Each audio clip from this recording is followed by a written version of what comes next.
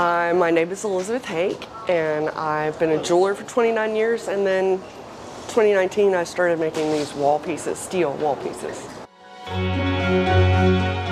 My mom always tried to encourage me, and she's like, what if you take a class at this place, um, I'll pay for it, like a week long class. And I looked through the catalog and I was just like, this sounds interesting. It was jewelry as sculpture. And I, I, took that class and I was hooked like the first day. I was like, okay, I want to make jewelry, metal. I'd never really worked with metal before and I just took to it like a duck to water.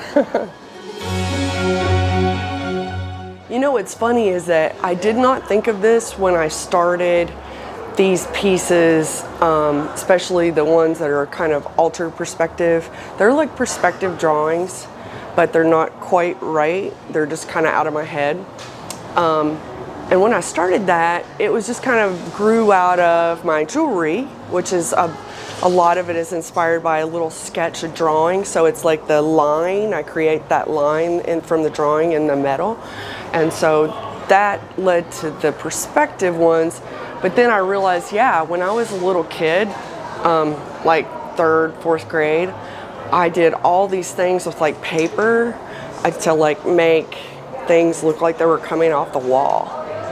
And I had totally forgotten about that. Like I had pictures, I was into animals, I had pictures of animals everywhere. I'd cut things out of books and I'd like bend the paper so it looked like the rhinoceros was coming off the wall.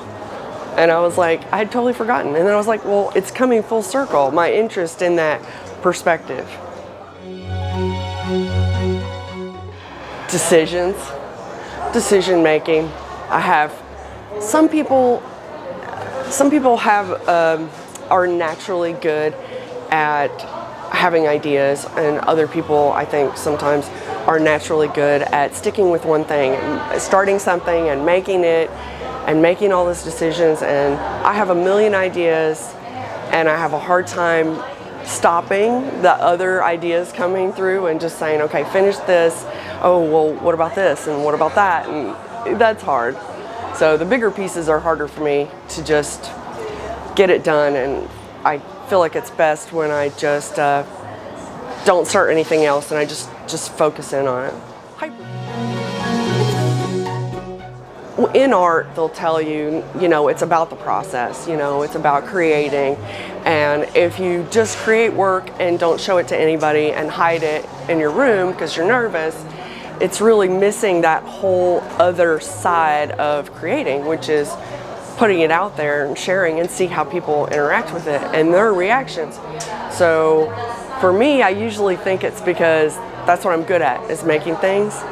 But um, I really actually like to see what other people see or how they react to it and their if they get an emotional reaction to it. This is part of the reason I got into jewelry is because people are emotionally attached to jewelry. I like something that means something to someone else.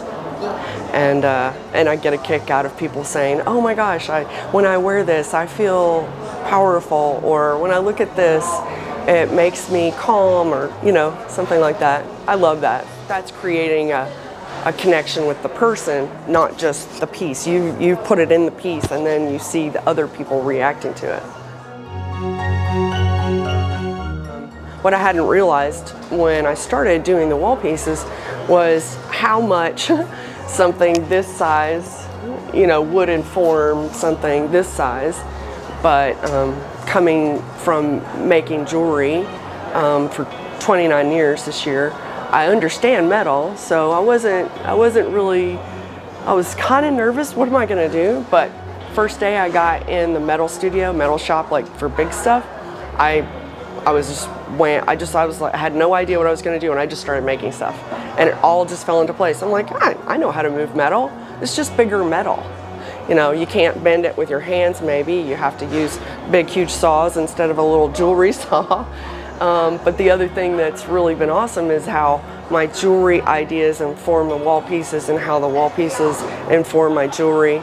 And uh, that's been really something I didn't uh, expect or predict, and uh, it's been really awesome.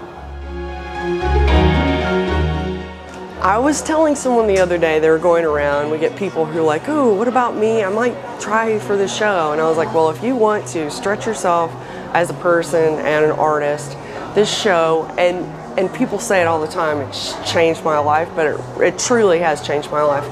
I didn't, I just learned so much about myself. Um, and something that I've been wanting to do for probably 15 years was to make something larger than jewelry. And this show actually pushed me to do it, to believe in myself that I could do it. And that's what's great about the, the whole concept is you work here and you're working around other people and you know they they comment and they encourage you and you do that for them and it's it's almost like an incubator I feel like. Um, uh, an idea incubator. And also I went to graduate school and I feel like this is this show is a lot like graduate school. You're just like oh what can I do? Bigger better different push myself. And then you have this space that's open to that. A lot of shows you apply with pictures that's it that's all you can show you actually can get in trouble if you show more stuff that's not like the pictures sometimes they'll kick you out you know um, so this show is not like that. This show is like grow as an artist and a person and push yourself. And it's really, really been amazing.